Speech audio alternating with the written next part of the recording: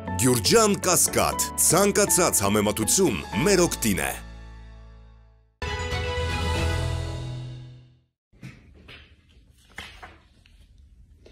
Բարի երեկո, սիրելի հայրենակիցներ, հետևորդներ։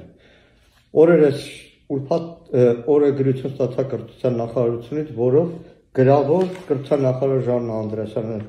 իր գրավոր տեքստով հայտնել, որ Նիկոլ Փաշինյանը հերթական անգամ ստել է հայրենակիցների եւ անգամ իր կուսակիցների առաջ։ Շաբաթներ պահանջվեց ինձանից, որպեսի parzեմ, թե ճիշտ է արդյոք Նիկոլ Փաշինյանը այս տարվա հունվարի 14-ին գավառում հայտարարել, որ վերջերս իմացա, որ մի խումբ մանկավարժներ կամ գիտնականներ դիմել են կրթության առաջարկելով հայոց պատմություն առարկան վերանվանել Հայաստանի պատմության։ Հիշում եք այս հայտարարությունից հետո աղմկարույց մեծ նախաձեռնություններ եղան։ Նախկրթության նախարարությունը իր մի պատասխանով հրաժարվեց տեղեկացնել, արդյոք գրավոր նման առաջարկ եղել է եւ տրամադրել։ Պատճառը հղում տվեցին, որ անձնական նամակագրությունը գաղտնի է կարող են չհրապարակել։ Ազգային ժողովում ստիպած պնդեցի, որ օրենքով պարտավոր է եւ ես չէի պահանջել որևէ սիրային նամակ կամ այլ գրություն, որ կրթության նախարարությունն էլ ինձ մերժեր։ Երկրորդ գրավոր նորից հարցապնդումն ուղեցի կրթության նախարարություն եւ միայն օրերս ստացա պատասխան, որով հայտնում է,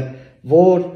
գրավոր դիմում կրթության նախարարություն չի մուտքագրվել։ Նիկոլ Փաշինյանը հիշեցնեմ հունվարի 14-ին հայտարարել էր, թե տեղեկացել է, որ մի խումբ մանկավարժներ կամ գիտնականներ դիմել են նախարարություն։ Այսքան երկու նամակ, երկու պատասխան։ Հերթական անգամ պարզվեց, որ Նիկոլ Փաշինյանը հասարակության առաջ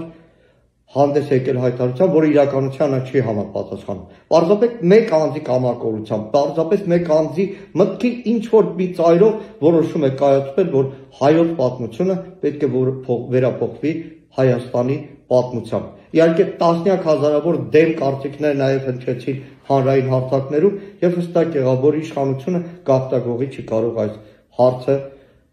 լուծել եւ կյանքի կոչել։ Իրականում այս ամենն անում է մեկ պարզ պատճառով որպեսի երթական անգամ པարզ լինի, թե ինչպես կարելի